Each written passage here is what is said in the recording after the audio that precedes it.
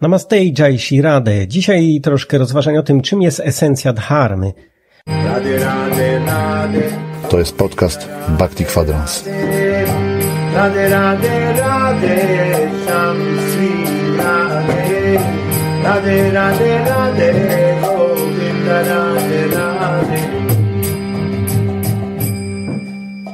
Ale zanim przejdziemy do tego tematu, kilka ogłoszeń. Jeśli słuchasz tego podcastu na YouTube, zasubskrybuj go, po czym kliknij w dzwoneczek. W ten sposób będziesz dostawać powiadomienia o wszystkich nowych filmach i podcastach na kanale. Możesz go również słuchać we wszystkich najpopularniejszych aplikacjach do, słuchania, do słuchania podcastów Spotify, Apple Podcast, Google Podcast czy Spreaker. Linki znajdziesz w opisie tego filmu na YouTube i opisie odcinka oraz również na mojej stronie internetowej krishnakirtan.in. Przejdźmy do tematu dzisiejszego odcinka, czyli esencji dharmy. Zastanowimy się dzisiaj, czym jest istota dharmy. Jest wiele książek o dharmie, ale jest też wiele zasad, które ona opisuje. Jest ich tak dużo, że czasami trudno zdecydować, co jest właściwym zachowaniem. I na tak postawione pytanie możemy udzielić następującej odpowiedzi. Celem dharmy jest utrzymanie dyscypliny w jednostce i w społeczeństwie, tak aby jednostka mogła spokojnie dążyć do ostatecznego celu życia.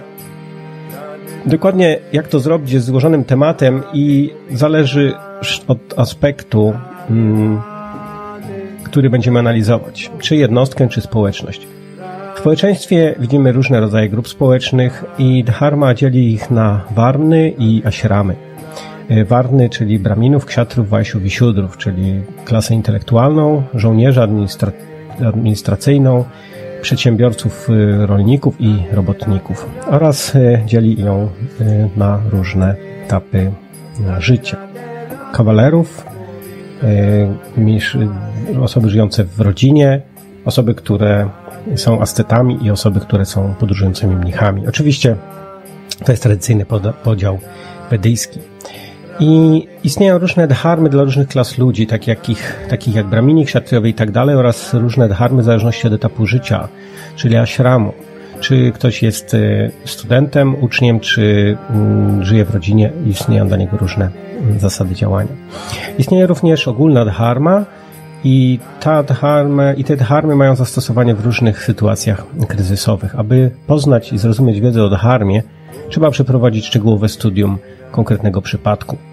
Oprócz 20 y, smriti następne są tomy i tomy książek o dharmie, a większość ludzi niestety nie jest w stanie przestudiować ich wszystkich. Co więcej, większość z nich może być nieistotna dla konkretnego przypadku, etapu życia czy sytuacji. Jednakże Krishna podaje bardzo prostą formułę, taką sutrę, Dharmy. W szóstym rozdziale Bhagavad Gita w wersetach od 10 do 31 jest to opisane. Ja posłużę się tłumaczeniem Bhagavad Gita Iwony Szuwalskiej. Jogin powinien zawsze trwać na swojej ścieżce. Żyjąc w osamotnieniu, skupić się na sobie. Zachowując ostrożność, porzucić nadzieję. Niech w samotni dziewiczej znajdzie ciche miejsce. Nie wysokie, nie niskie, trawą je wyścieli oraz miękką tkaniną i skórą jelenia. Niech następnie w skupieniu, utrzymując umysł, zatrzyma potok myśli i zmysłów działanie Siedząc tak nieruchomo, niech się doskonali, w jednej linii trzymając tułów, głowę i szyję. Nie patrząc na nic więcej, tylko czubek nosa. Niech spokojny i wolny od uczucia strachu, stały w ślubach czystości, kontrolując umysł.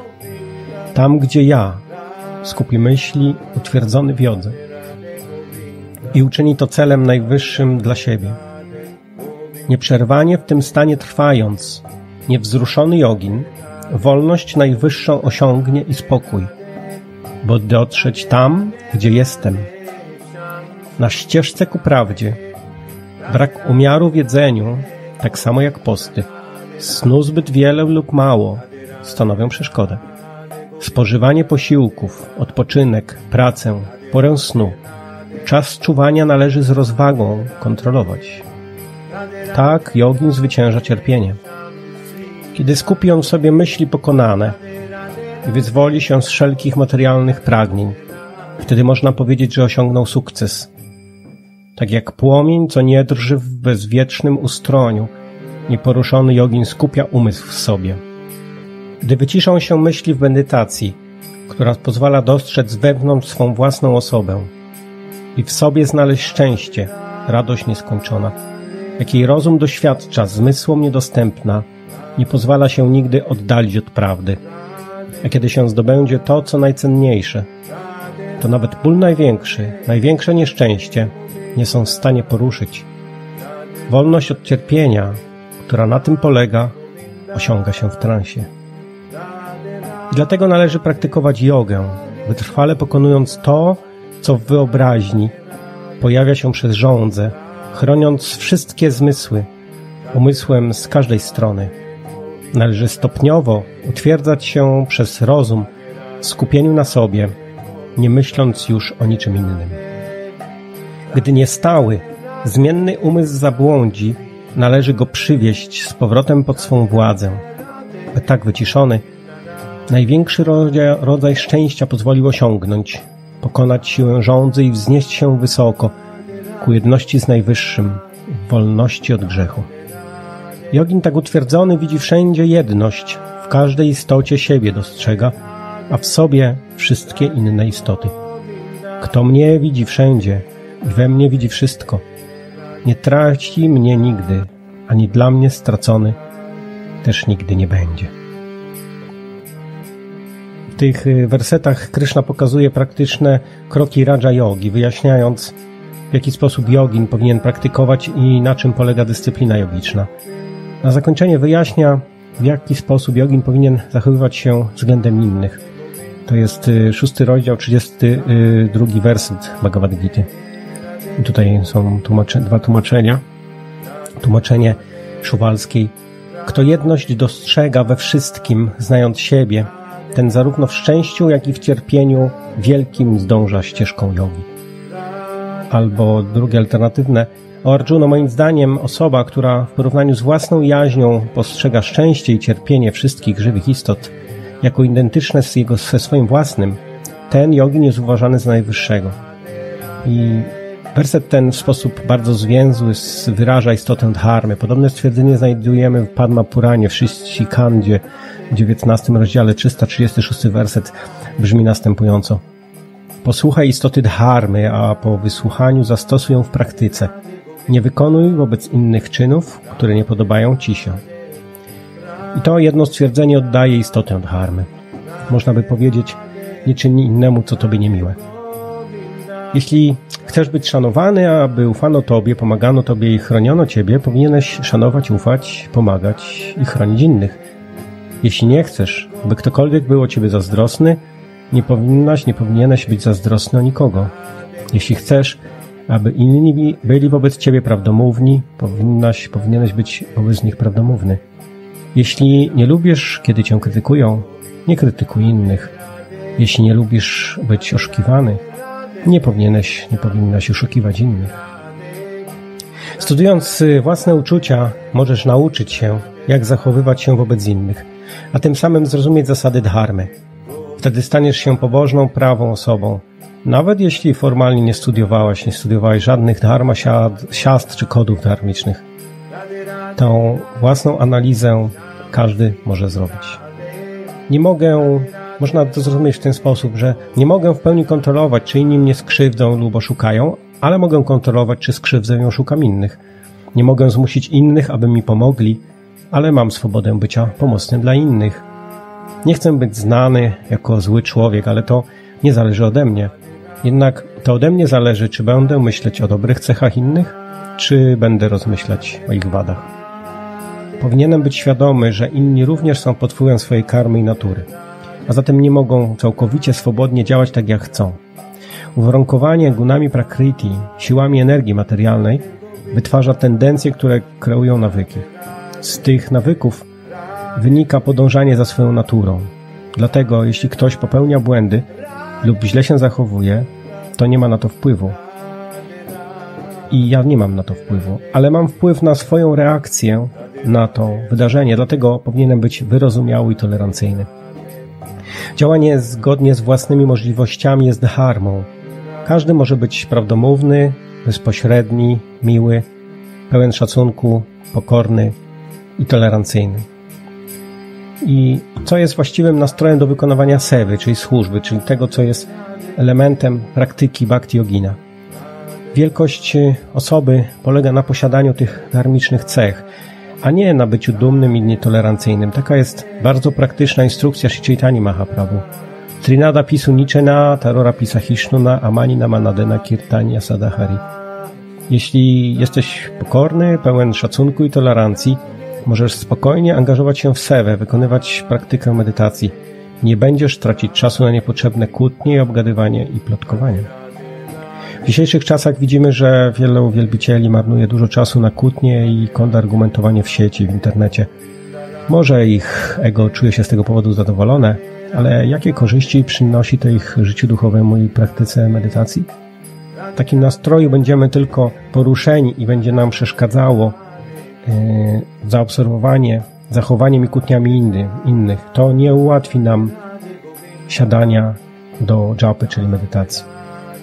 Naszą skłonnością jest uleganie negatywnym zachowaniom innych. Jeśli ktoś jest o mnie zazdrosny, to naturalne, że postępują wobec niego nieprzychylnie, go krytykuje. Ale takie zachowanie nie jest harmiczne. Ani nie pomaga to drugiej osobie. Także nie pomaga mi. Jedynie degraduje mnie do jego poziomu. Jeśli jestem na jego poziomie, jak mogę go krytykować? Jeśli naprawdę jestem powyżej jego poziomu, to także jak mogę go krytykować, nie wykazując tej samej wady, którą on posiada. Materialne ego, które zawsze chce czuć się lepsze od innych, nawet jeśli tak nie jest, używa krytyki jako narzędzia do doświadczenia iluzji wyższości. Nie ma nic wspaniałego w zemście. Bycie tolerancyjnym i przebaczającym jest wspaniałe.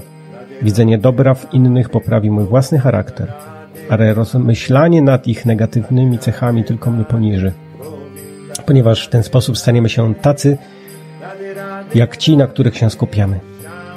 W społeczeństwie każdy docenia osobę, która jest prawdomówna, współczująca, życzliwa, miłosierna, bezinteresowna, pokorna i nieszkodliwa. Nikt nie lubi osoby okrutnej, dumnej, kłamcy, oszusta, skąpca i wyzyskiwacza. Wszyscy to wiedzą. Pragniemy być znani jako osoba o dobrym charakterze, nawet y, przestępcy chcą być znani wśród swoich kolegów jako lojalni, godni zaufania i hojni. Wszyscy tego chcemy, ponieważ wiemy, że osoba lubiana przez innych jest z pewnością szczęśliwsza niż osoba pogardzana przez pozostałych. Zazwyczaj ludzie lubią pomagać i wspierać taką osobę. Nie chcą jej krzywdzić. Ten sposób, będąc tolerancyjnym i pokornym, czynimy nasze życie łatwym i spokojnym. Zawsze miej na uwadze większy obraz wydarzeń. Można argumentować, że do naprawiania zła u innych potrzebna jest krytyka, ale demonstrowanie właściwego zachowania jest skuteczniejszym środkiem naprawczym niż prawe kazanie. To jest podstawowa zasada dharmy. Achara bhava dharma. Dharma rodzi się z dobrego postępowania. Ktoś może argumentować, że jeśli ktoś mnie skrzywdził lub oszukał, jak mogę się nie myśleć o nim negatywnie, jak nie krytykować takiej osoby, jak mogę mieć serce, współczucie, żeby pomóc takiej osobie, w jaki sposób mogę nie chcieć zemsty. Odpowiedź jest taka, że możesz uznać to, co ci się przydarzyło za owoc twojej własnej karmy. To po prostu musiało się stać. Gdyby nie ta konkretna osoba, zrobiłby to ktoś inny, Ktoś musiałby odegrać tą kluczową rolę w przekazywaniu wyników Twojej karmy. Gdyby to nie miało Ci się przytrafić, po prostu by się nie wydarzyło. Gdyby to nie miało się wydarzyć, Paramatma, dusza najwyższa, świadek wszystkich zdarzeń, by na to nie pozwoliło. Miej wiarę w Paramatmę. Ona jest świadkiem zachowania każdego. To jeden ze sposobów na utrzymanie równowagi. Niektórzy mogą sprzeciwiać się temu, że wielbiciele nie cierpią z powodu przeszłej karmy. W takim przypadku możesz pomyśleć. Ta niekorzystna sytuacja została zaaranżowana przez Krysznę, aby mnie czegoś nauczyć. To jest jego łaska, abym poczynił postęp na ścieżce bhakti. On wie, co jest dla mnie najlepsze. W ten sposób zachowasz spokój, co w dzisiejszych czasach jest rzadkim luksusem. Miej oko na szerszy obraz i zrozum duchowe korzyści płynące z przestrzegania dharmy, zamiast angażować się, uwikływać w drobne sprawy takie jak materialnie pojmowany honor, pozycja czy hańba. Jeden z naszych aczariów, nauczycieli powiedział, pratishtha sukari vishtha, co oznacza, że honor jest odchodem świni. Kiedy ktoś staje się instrumentem w dawaniu ci rezultatu swojej karmy, powinieneś, powinnaś współczuć osobie, która najwyraźniej działała przeciwko tobie. Aby spełnić tą funkcję, przekazaniu ci rezultatu twojej karmy, ta osoba musiała wziąć na siebie jakiś grzech, wplątując się w twoją złą karmę. Jeśli myślisz w ten sposób, zaoszczędzisz sobie wiele czasu i kłopotów oraz będziesz w stanie lepiej zaangażować się w sewę, która podniesie cię duchowo. Nie reagując na takie prowokacje i zaczepki, oszczędzasz sobie dalszej karmy. Z drugiej strony patrząc, jeśli zemścisz się na tej osobie, będziesz tylko kontynuować łańcuch karmy. Marnujesz swój czas i tracisz czas, który możesz przeznaczyć na sewę czy praktykę duchową. Co więcej, dokonując zemsty, zmuszasz tą osobę do dalszych grzesznych czynów, ponieważ będzie ona również szukać własnej zemsty na tobie i w ten sposób utrwali karmiczne reakcje. Jeśli ktoś wpada w otchłań złej karmy, nie popychaj go dalej w dół. To tworzy niekończącą się spiralę działania i odwetu. Raczej działaj w ten sposób, który pomoże osobie wyjść z niewłaściwego zachowania.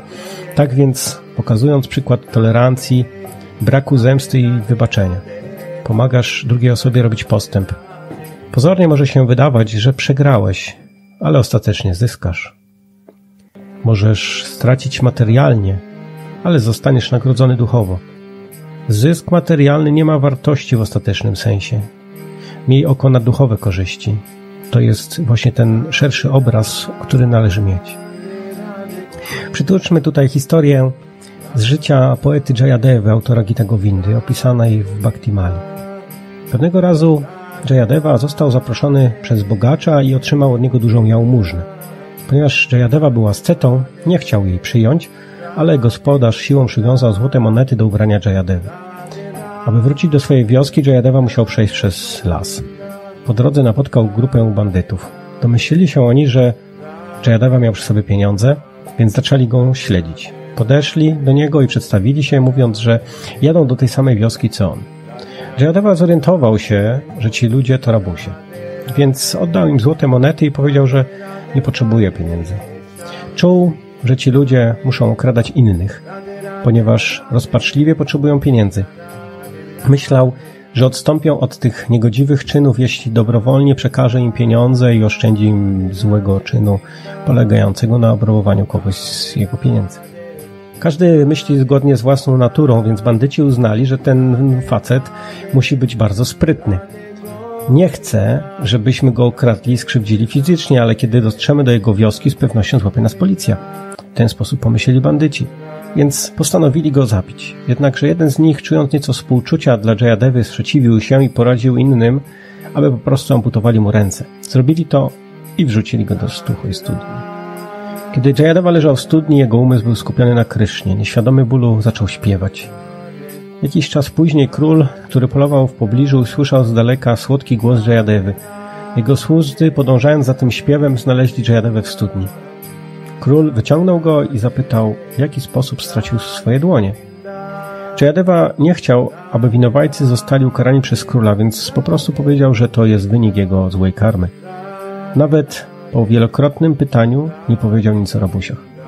Król zabrał więc Jayadevę do swojego pałacu i opatrzył jego rany. Kiedy dowiedział się, że ten człowiek jest wielkim poetą i świętym Jayadewą, nie chciał go wypuścić i poczynił przygotowania, aby Jayadeva został w jego pałacu. Ponieważ Jayadeva lubił towarzystwo sadu, świętych osób, dlatego podczas swojego pobytu w pałacu poprosił króla, aby ten karmił sadu, tak aby mógł z nimi się spotykać i rozmawiać.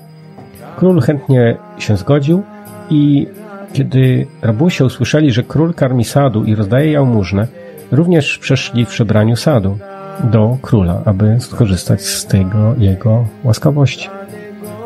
Jayadeva zwykł siadać w pobliżu jadalni i rozmawiał z jedzącymi sadu. Rabusie, kiedy zobaczyli to, byli zszokowani. Obawiali się, że ich życie jest w niebezpieczeństwie, jednakże Jayadeva nie miał do nich złości. Ponadto pomyślał, jeśli poinformuję króla, że ci sadu są przebranymi rabusiami, ucierpi wiara króla w sadu. Może przestać szanować nawet prawdziwych sadów, wątpiąc w ich charakter. Dlatego nie ujawnił ich tożsamości. Zamiast tego wezwał króla i powiedział: To są moi bracia duchowi, proszę, opiekuj się nimi w szczególny sposób.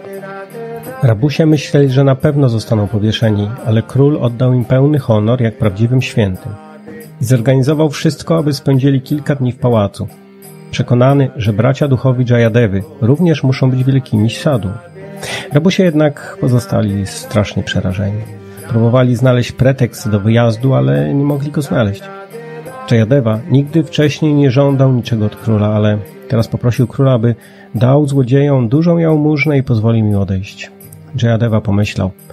Ci rabusie zawsze popełniają grzech dla pieniędzy. Jeśli zdobędą wystarczająco dużo bogactwa, mogą powstrzymać się od popełniania kolejnych okrucieństw. Król zatem hojnie obdarował ich bogactwami i wysłał dla nich, dla ich ochrony w podróż swoich strażników. Strażnicy zapytali złodziei, Drodzy swami, Jayadeva miał dla was tak wielki szacunek. Poprosił króla, aby was uhonorował i dał tyle bogactwa. Jaki jest wasz związek z Jayadevą? Rabusi odparli. To wielka tajemnica. Nie mów tego nikomu. Wcześniej my i Jayadeva pracowaliśmy w pałacu u naszego króla. Pewnego razu Jayadeva ukradł trochę pieniędzy z królewskiego skarbca i został na tym złapany. Król kazał go zabić. Zostaliśmy wydelegowani, aby zabrać go do lasu i ściąć mu głowę, ale zlitowaliśmy się nad nim i po prostu odcięliśmy mu ręce, które przedstawiliśmy królowi jako dowód jego śmierci. Gdy tylko rabusie wypowiedzieli tak rażące kłamstwo, w ziemi pojawiła się szczelina i cała czwórka wpadła w nią, by spotkać się ze śmiercią. Strażnicy byli zdumieni widząc to. Wrócili do Jayadewy, aby przekazać mu tą wiadomość. Jayadewa zasmucił się i zaczął pocierać kikuty rąk, na których dłonie pojawiły się ponownie. Taki był wielki charakter poety Jayadewy, autora Gity Govindy, poematu, który Sri Chaitanya Mahaprabhu uwielbiał słuchać. Inną historią jest historia przebaczenia Haridasa Takura. Jest to kolejny przykład z życia wielkiego świętego e, Wisznuickiego. Haridas Takur, czyli towarzysz Mahaprabhu, był kolejnym wspaniałym przykładem pokory, współczucia i tolerancji. Haridas publicznie intonował święte imię Kryszny w rządzonym przez muzułmanów Bengalu. Zatem Kazi, lider, król muzułmanów, nakazał mu publiczną egzekucję, chłoszcząc go na 22 targowiskach. Kilku żołnierzy ciągnęło Haridasa z targowiska na targowisko, w każdym z nich, na każdym z nich okrutnie bijąc go laską. Jednak chroniony przez Chaitanya Mahaprabhu Haridas nie umarł. Pod koniec dnia żołnierze byli tak wyczerpiani ciągnięciem go z placu na plac, że nie mogli już dłużej, że nie mogli go dłużej już pokonać i porzucili swoje zadanie. Haridas Takur nie myślał o zemście. Raczej patrzył na nich ze współczuciem. Modlił się. O Bagawanie, bądź miłosierny dla tych wszystkich biednych dusz, chociaż traktują mnie jak wroga. Nie uważaj tego za obrazę. Kiedy oprawcy zobaczyli, że nadal on żyje po pobiciu go na 22 targowiskach, zaczęli się martwić. Nie rozumiemy, kim jesteś. Biliśmy cię, obrzucając cię publicznie wyzwiskami, a mimo to nie okazujesz żadnych oznak bólu.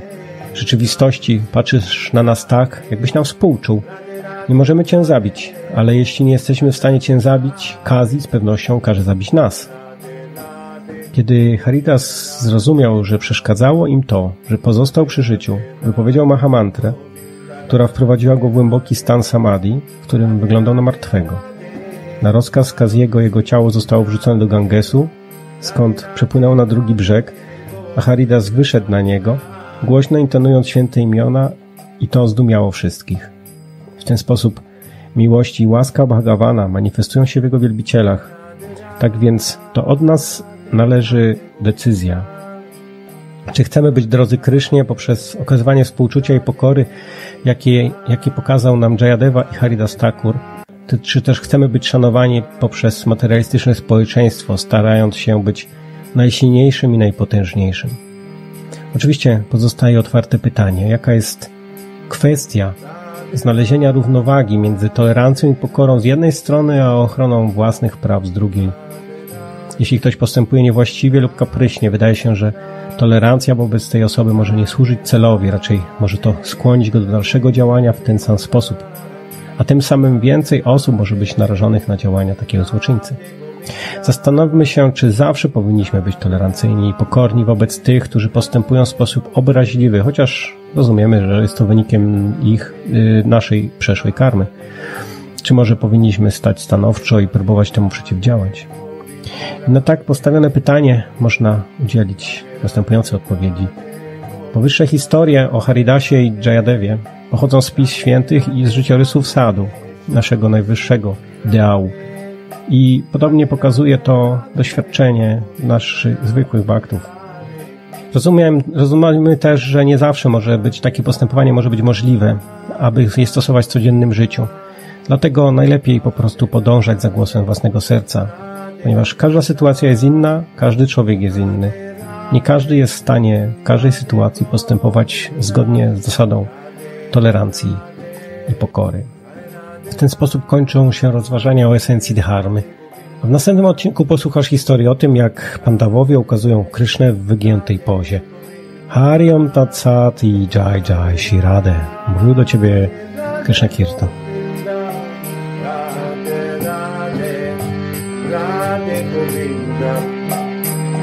Radhe Radhe Radhe Govinda Radhe Radhe Radhe Govinda Radhe Radhe Radhe Govinda Radhe Radhe Radhe Govinda Radhe Radhe Radhe Govinda Radhe Radhe Radhe Radhe Radhe Govinda Radhe Radhe Radhe Radhe Radhe Sham Shri Radhe Radhe Radhe Radhe Govinda Radhe Radhe Radhe Radhe Radhe Govinda Radhe Radhe Radhe Radhe Radhe Govinda Radhe Radhe Radhe Radhe Radhe Sham Shri Radhe Radhe Radhe Radhe